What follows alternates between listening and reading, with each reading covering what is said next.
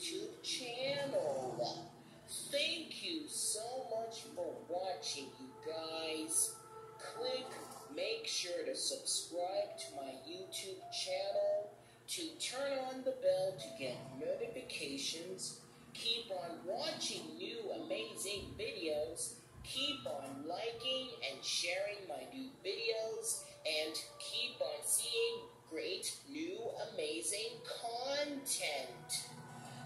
Until very soon,